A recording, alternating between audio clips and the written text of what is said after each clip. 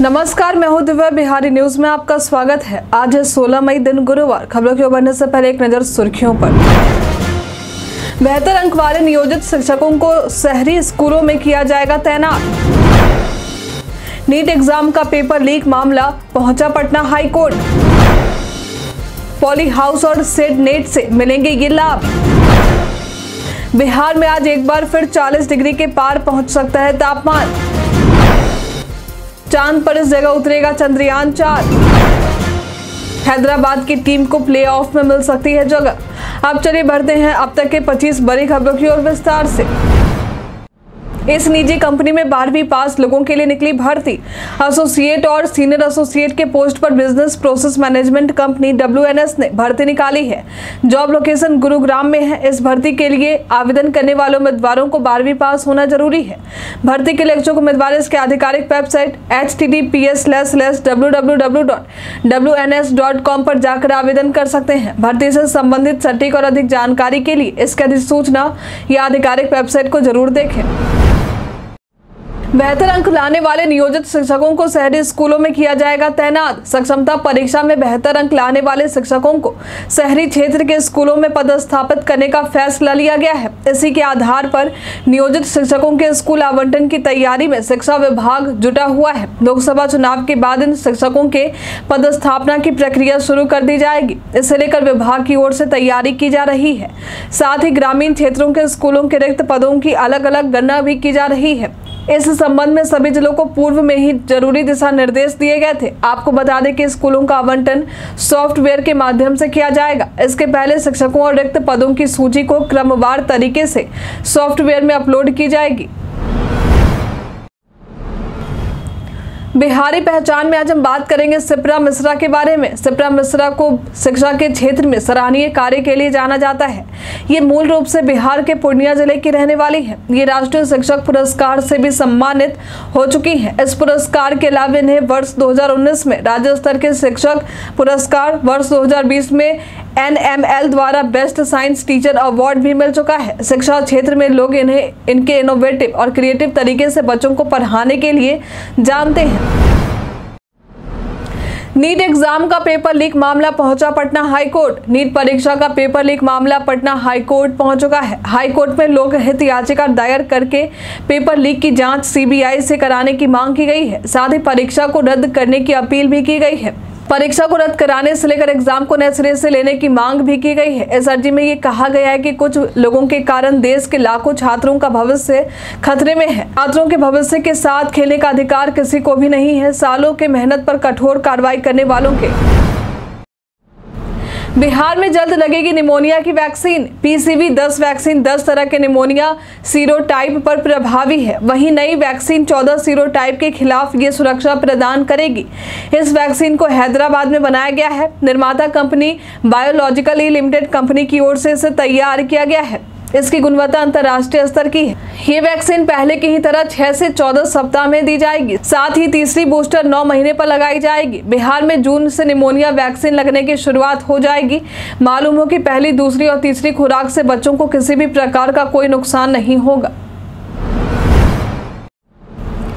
Poly house और shade net से मिलेंगे ये लाभ। बिहार सरकार की ओर से किसानों के लिए कई तरह के लाभ दिए जाते हैं।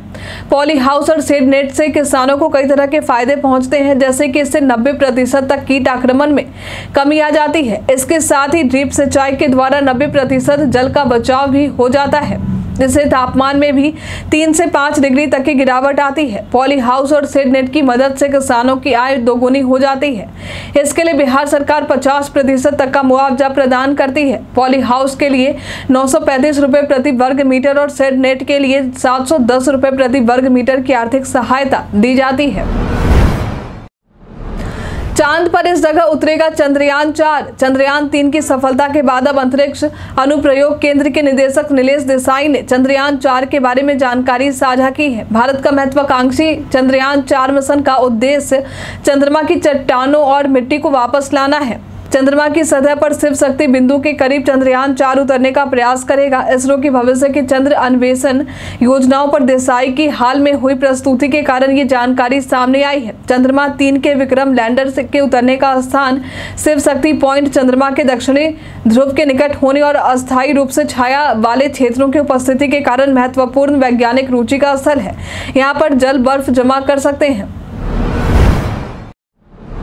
नालंदा में चार प्रत्याशियों का नामांकन रद्द। नालंदा में लोकसभा चुनाव को लेकर नामांकन की प्रक्रिया खत्म हो गई है। मालूम हो कि इसके बाद चार प्रत्याशियों का नामांकन कैंसिल किया गया है।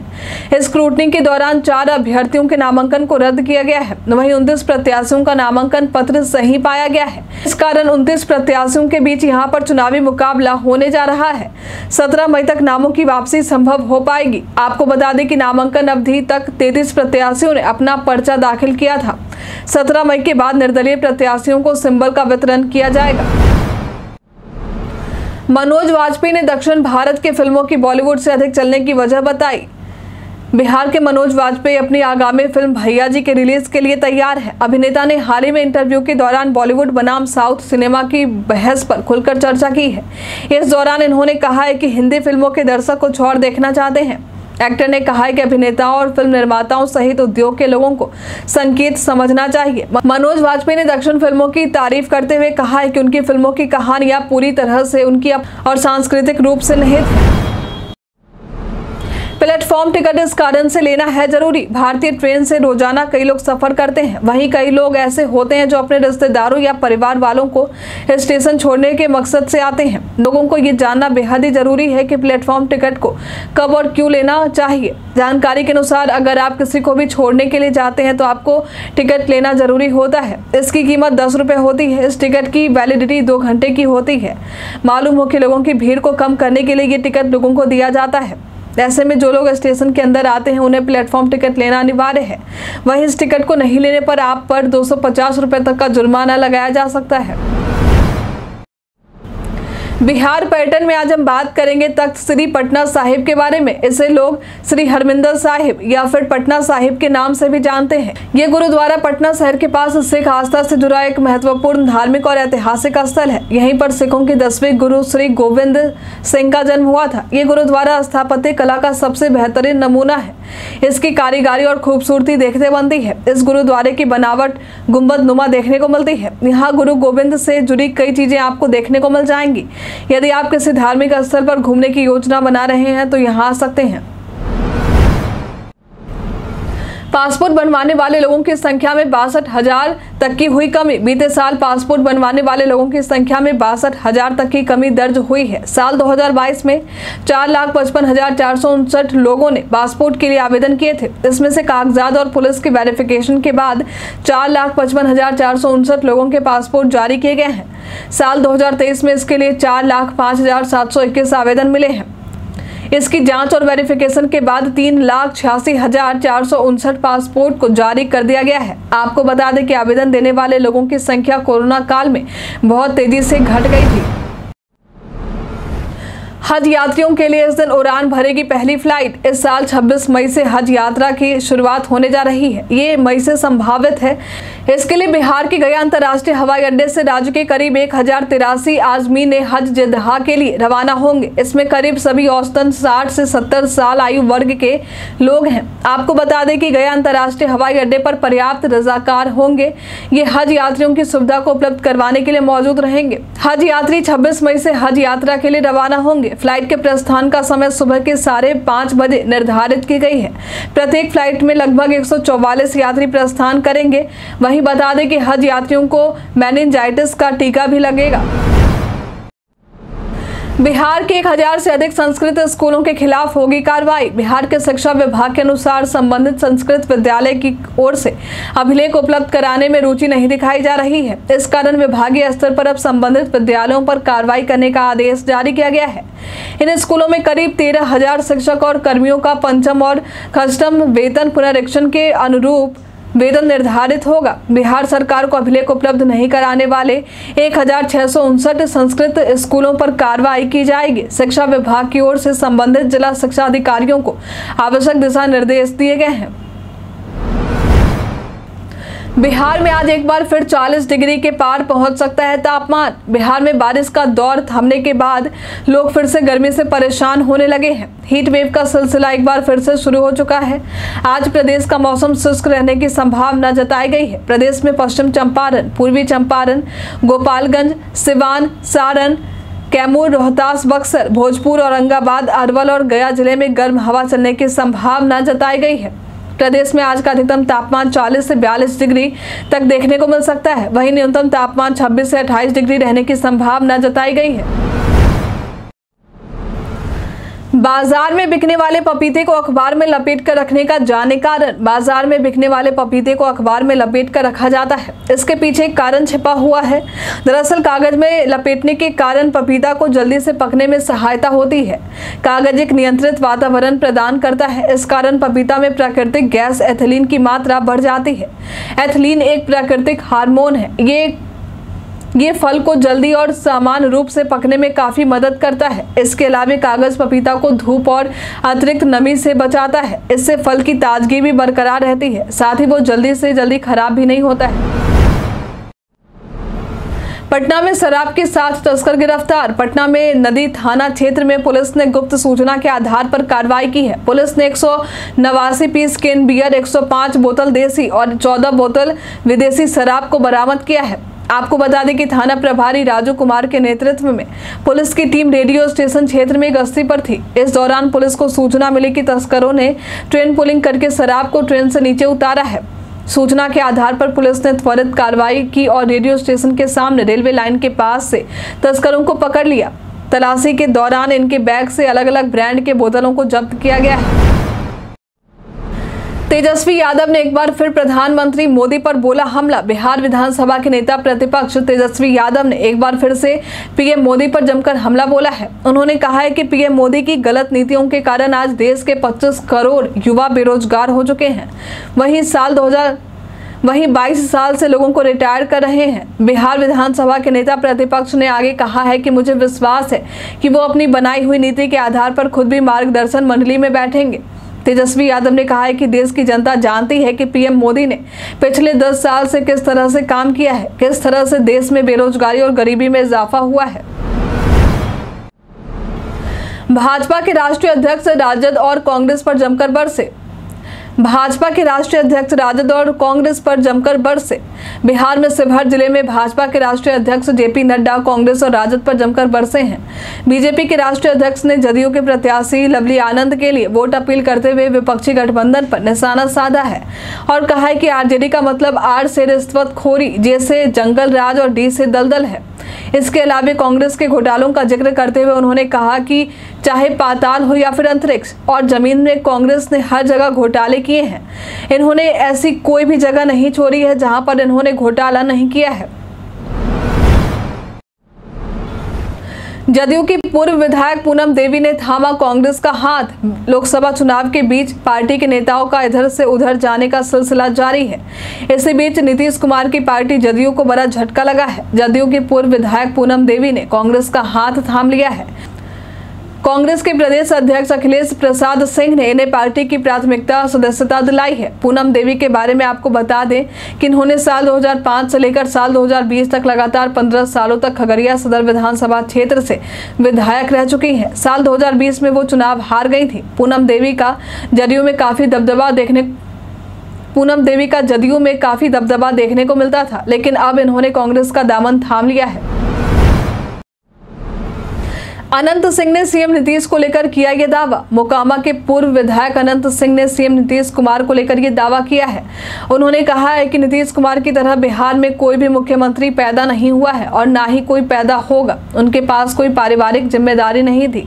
उन्हें ना ही बेटे को देखना था और ना ही घर को देखना था। मुख्यमंत्री नीतीश कुमार के भाई आज भी दवाई बेचते हैं। नीतीश कुमार जनता के दीवाने हैं। वो एक एक काम में रात और दिन लगे रहते थे। लालू यादव के शासनकाल में दिल्ली में नौकरी करने वाले परिजनों को उठा लिया जाता। था हैदराबाद की टीम को प्लेऑफ में मिल सकती है जगह। आईपीएल 2024 में आज सनराइजर्स हैदराबाद और गुजरात की टीम की टक्कर होने वाली है। इस मुकाबले को जीतकर हैदराबाद को प्लेऑफ में जगह मिल सकती है। दूसरी ओर गुजरात की टीम प्लेऑफ से बाहर हो चुकी है। आज का मैच हैदराबाद को प्लेऑफ का टिकट दिला सकता है। दूसरी ओर गुजरात की टीम अपनी प्रतिष्ठा बचाने के लिए खेलेगी। सनराइजर्स हैदराबाद की 12 मैचों में 14 अंक हैं, जबकि ये टीम अधिकतम 18 अंक हासिल कर सकती है। इसके बाद ये टीम शीर्ष दो में अपनी जगह कायम कर सकती है। कई कारणों से दर्ज है भारत इतिहास में आज की तारीख। 16 मई वर्ष 1960 में भारत और इंग्लैंड के बीच टेलेक्स सेवा की शुरुआत की गई थी। आज के दिन वर्ष 1975 में एक महीने पहले हुए जनमत संग्रह के परिणामों के आधार पर सिक्किम ने अपनी राजशाही को समाप्त कर दिया था और भारत का बाईसवां राज्य बन गया था। आज के दिन वर्ष उन्नीस सौ छियानवे में अटल बिहारी वाजपेयी भारत के दसवें प्रधानमंत्री बने थे। आज के दिन वर्ष 2014 में भारतीय जनता पार्टी को सोलहवें लोकसभा चुनाव में पूर्ण बहुमत मिला था और सोलहवें लोकसभा चुनाव में दो सीटों के साथ भारतीय जनता पार्टी सबसे बड़ी पार्टी बनकर उभरी थी। आज के दिन राष्ट्रीय डेंगू दिवस और अंतर्राष्ट्रीय प्रकाश दिवस मनाते हैं। गूगल सर्च पर अब लोगों को मिलेगा बेहतर एक्सपीरियंस। गूगल को लेकर कई बड़े ऐलान किए गए हैं। एक इवेंट में गूगल ने जनरेटिव एआई मॉडल जेमिनी को एक्सपेंड किया है। साथ ही उसे सर्च को बेहतर बनाने में इस्तेमाल किया जाएगा। अब लोगों को सर्चिंग में बेहतर एक्सपीरियंस प्राप्त हो सकेगा। इसके साथ ही वीडियो सर्च की मदद से सर्चिंग नेक्स्ट लेवल की हो सकेगी। इसके अलावा यूज़र्स की प्लानिंग भी बेहतर ढंग से हो सकेगी। गूगल के नए अपडेट के बाद लोगों को काफ़ी फ़ायदा पहुँचने वाला है। गूगल की ओर से एआई ओवरव्यूज को जारी किया गया है। हालाँकि गूगल का ये नया फीचर अभी तक सिर्फ़ अमेरिका के लिए है। बाद में से अन्य देशों के लिए भी जारी किया जाएगा। एसबीआई ने एफडी ब्याज दरों में की बढ़ोतरी। एसबीआई ने अपने करोड़ों ग्राहकों को बड़ा तोहफा दिया है। भारतीय स्टेट बैंक ने ब्याज दर को बढ़ा दिया है। नई एफडी दरें बीते दिन से प्रभावी हैं। एसबीआई की ओर से अपने ग्राहकों के लिए छियालीस से एक सौ उनासी दिन 180 से 210 दिन और 211 से एक साल के लिए कम अवधि पर ब्याज दरों में 25 से 75 आधार अंकों की बढ़ोतरी की गई है। मालूम हो कि बैंक की तरफ़ से आखिरी बार 27 दिसंबर को एफडी पर ब्याज दरों में बढ़ोतरी की गई थी। फ़िलहाल सीनियर सिटीजन के लिए बैंक ने समान अवधि पर पाँच दशमलव दो पाँच फ़ीसदी से बढ़ाकर छः फ़ीसदी किया है। हम प्रतिदिन आपसे पाँच ऐसे ज़रूरी सवाल पूछेंगे उसको जवाब बताएँगे जो कि बीपीएससी, बिहार पुलिस, दरोगा समेत एसएससी जैसे नए प्रतियोगी परीक्षाओं में काम आएँगे। सवाल इतिहास, बिहार स्पेशल, विज्ञान, करंट अफेयर्स और भूगोल से रहेंगे। पूछे गए पाँच सवालों में आपने कितना सही उत्तर दिया ये हमें कॉमेंट करके ज़रूर बताएँ।